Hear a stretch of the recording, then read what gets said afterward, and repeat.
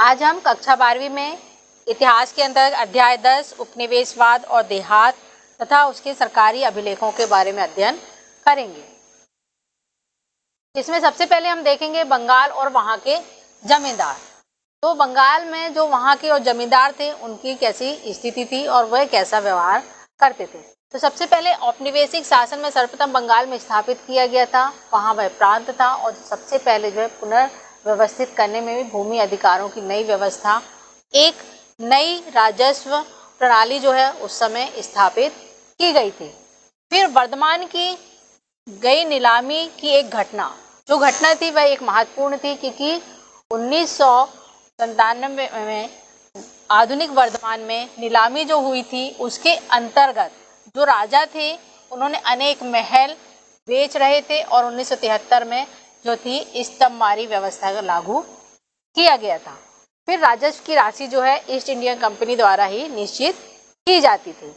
फिर अदा ना किए गए राजस्व की समस्या। कई लोग जो हैं, राजस्व अदा नहीं करते थे, उसकी समस्या उत्पन्न होती थी तो उसके लिए क्या था? फिर 18वीं शताब्दी के अंतिम वर्षों में जो बेची गई जमीनों में सिर्फ़ वर्तमान के राजा की जो संप्रदाय ही नहीं थी, बल्कि स्तपारी बंदोबस्त व्यवस्था के लिए जो लागू किए जाने के पश्चात जो है पचहत्तर प्रतिशत से अधिक जमींदारियाँ जो है हस्तांतरित कर दी गई थी। तो इसमें सबसे पहले है राजस्व का उदय। राजस्व का उदय कैसे हुआ? बंगाल की विजय के समय जो है ब्रिटिश अधिकारियों के समक्ष जो है कई उत्पन्न, समस्याएँ जो है उत्पन्न हुई, जिसका हल करने के लिए स्तंभवारी बंदोबस्त व्यवस्था लागू की गई थी। जिसमें कि उन्नीस सत्रह के दशक तक बंगाल की जो है ग्रामीण अर्थव्यवस्था जो है उस समय संकट के दौर से गुजर रही थी।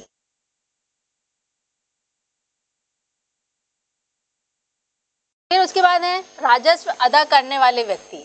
जो राजस्व अदा करने वाले व्यक्ति, वो कौन थे?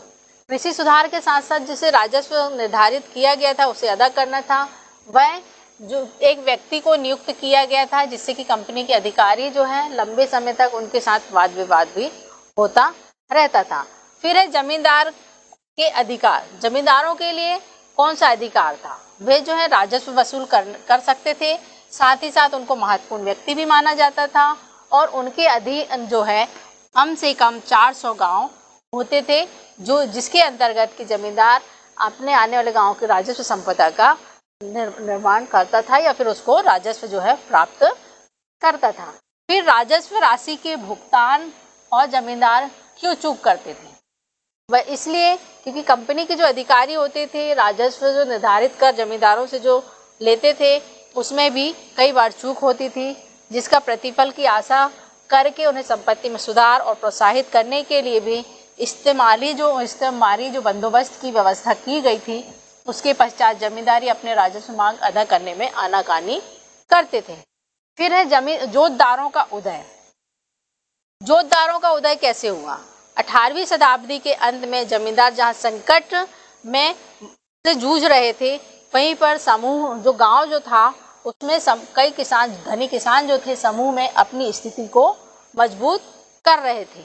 इन्हीं इन्हीं धनी किसानों को ही हम जोतदार कहा गया था जिसे कि जोतदार कहा गया। ये धनी किसान का वर्ग होता था। फिर है जमींदारों के आ, की ओर से प्रतिरोध। जो जमींदार थे वे भी प्रतिरोध करना चालू कर दिए थे। मतलब जो अंग्रेज़ थे उनका प्रतिरोध करना चालू कर दिए थे कि जमींदारों ने जो राजस्व की मांग भू संपदा और नीलामी के समस्या से निकलने हेतु उन्होंने प्रतिरोध करना चालू कर दिया था। फिर उन्होंने फर्जी बिक्री, राजस्व से बचने के लिए या फिर उन्हें देने से बचने के लिए उन्होंने फर्जी बिक्री के कई से कई तरीके अपनाए, जिसमें वर्धमान राजा ने अपनी जमींदारी का कुछ भाग जो है, माता को दे दिया और कंपनी का यह निर्णय जो स्त्रियों की संपत्ति को छीना नहीं जा सकेगा। फिर नीलामी प्रक्रिया की जोड़ तोड़ जो नीलामी की जो प्रक्रिया थी, वह थी उसमें भी जोड़ तोड़ किया गया था। जिसमें राजस्व संबंधी मांग को जानकर रोक दिया गया। भुगतान की बढ़ी हुई राशि जो थी, उसको रोका गया। भू संपदा की नीलामी के समय जमींदार उस टाइम ऊँची बोली लगाकर संपत्ति उस समय लोगों ने खरीद लेते थे। फिर ऐसे ही बड़े सौदे के स्तर हुए, जिसमें उन्नीस सत्रह से 1801 के मध्य। बंगाल की चार बड़ी जमींदारियों में से, जिसमें वर्तमान में एक जमींदारी थी, अनेक संपत्तियाँ जो थी, वह बेनामी खरीदारियाँ की थी। जिसमें कुल 30 लाख रुपए की प्राप्ति हुई थी। उसी तरह से बाहरी अथवा नए व्यक्तियों की जमींदारी का हक ना देना। मतलब जो व्यक्ति बाहरी होता था, उसको जमींदारी का हक नहीं दिया जाता था या उसको ज़मीन किसी प्रकार से नहीं दिया जाता था, जिससे कि वे जमींदार का प्रतिरोध इस तरह से करना प्रारंभ किया था। फिर है कुदाल और हल। ये कुदाल और हल क्या है? इसमें संथाल और पहाड़ियों के जो युद्ध हुए मतलब जो संघर्ष हुआ था, उसका एक प्रतीक के रूप में कुदाल और हल कहा गया है। कुदाल जो है, पहाड़ियों का शक्ति का प्रतीक माना गया, हल जो है, वह संथालों का। इस तरह से, क्योंकि जब ये पहाड़ियाँ जो थे, पहाड़ियाँ एक जाति था, जैसे हम पहाड़ियों पहाड़ियों बोलो ऐसा लगता है जैसे पहाड़ी, पहाड़ में रहने वाला, है ना? तो उसमें पहाड़ में रहने वाला एक जाति होता था, जो कि राज, जैसे कि ज़मीन, गीली ज़मीन से हटकर, सूखे अंचलों पर अपनी स्थायी कृषि से हटकर झूम कृषि अब झूम कृषि क्या है?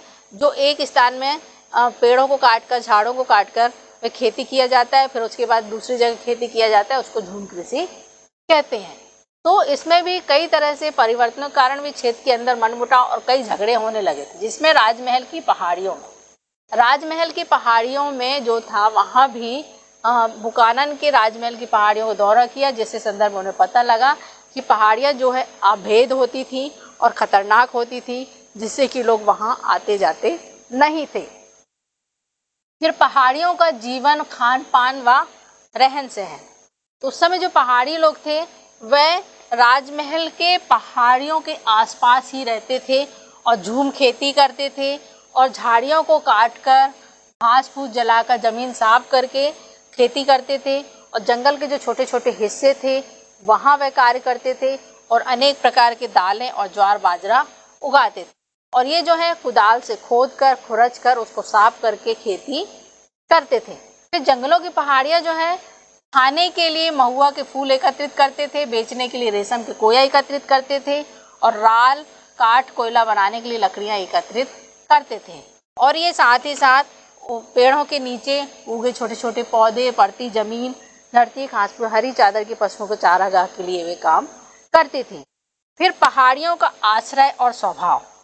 पहाड़ियों का आश्रय और स्वभाव जो है, वह क्या है? इसके अंतर्गत पहाड़ी लोग जो थे, वह शिकारी कर, शिकार करते थे, झूम खेती करते थे, काट कोयला बनाने के लिए लकड़ी इकट्ठा करते थे, खाद एकत्रित करने वालों में रेशम, कीड़े पालने वालों के रूप में इस तरह से घनिष्ठ रूप से वे अपना कार्य करते थे। और खासकर वे इमली के पेड़ के बीच में जो बनी झोपड़ियों में वे रहते थे, और आम के पेड़ों की छाव में वे आराम करते थे। फिर है पहाड़ियों का आश्रय व स्वभाव। वहाँ जब लोग रहते थे तो पहाड़ियों का आश्रय व स्वभाव जो था, वह आश्रय रहते थे। रेशम के कीड़े पालते थे, काट पोपला बनाने एकत्रित करते थे, रेशम के कीड़े भी पालने का कार्य करते थे, झोपड़ियों में रहते थे, आम के कार्य करते थे। इस तरह से वे वहाँ पर एक विशिष्ट स्वभाव भी था, जो जातीय वैदानी और लोगों के साथ लड़ाई भी आरंभ होने की जनजाति का नेतृत्व भी वे करते थे। और साथ ही साथ वे बाहरी लोगों के प्रवेश का भी वे विरोध करते थे। फिर पहाड़ियों के आक्रमण। पहाड़ी लोग जो थे, पहाड़िया लोग जो थे, वे पहाड़ियों के मूल आधार मान बनाकर उस मैदान पर आक्रमण करते थे, जहाँ किसान एक स्थान पर खेती करते थे। पहाड़ियों द्वारा आक्रमण करने का एक प्रमुख उद्देश्य यह भी था कि भी अपनों के अकाल और अभाव जो होता था उन सब उस समय में वे अपने आप को जीवित रखने हेतु ये आक्रमण करते थे। और आक्रमण जो है मैदानी समुदायों में अपनी ताकत दिखाने का भी एक तरीका होता था कि वे शक्तिशाली हैं, निर्बल नहीं हैं। फिर कृषि का विस्तार। कृषि का विस्तार कैसे हुआ? जंगलों व चारागाह क्षेत्र में संकुचित होने से स्थायी कृषि होने लगी थी और उसका विस्तार भी प्रारंभ हो गया था, जिसमें पहाड़ी तथा स्थायी खेतियारों के बीच जो है मनमुटाव उत्पन्न हो गया था, यहाँ से संघर्ष भी प्रारंभ हो गया था। फिर शांति व्यवस्था का अभियान।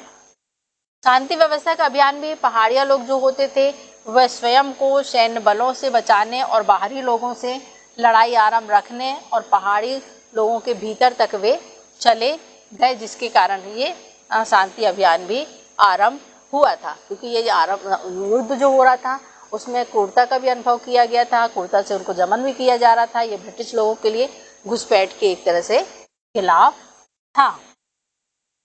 फिर है संथालों का उदय। ये संथाल भी एक जाति थी, इनका भी यहाँ पर उदय हुआ, क्योंकि इनके कारण एक नए खतरे का भी सूचनाएँ मिल रही थी, वह था संथाल का आगमन। संथाल एक जाति थी, जो लोग जंगलों में रहते थे, जंगलों को सफाया करते हुए ज़मीन जोतते थे और चावल और कपास उगाते थे और इस तरह से वे बड़ी संख्या में अंदर तक या पहाड़ियों के जो कब्जा हुए जमा चुके थे। फिर पहाड़ियों के राजमहल, पहाड़ियों के अंदर तक ये पीछे हटना पड़ा था। पहाड़ियाँ जो थे, वह फिर बाद में पीछे हट गए थे, यहीं से उनका अंत भी प्रारंभ हो गया था। यदि कुदाल को पहाड़ी ज़मीन का प्रतीक माना जाता है और हल और कुदाल के मध्य जो है द्वंद्व काफ़ी समय तक चला था।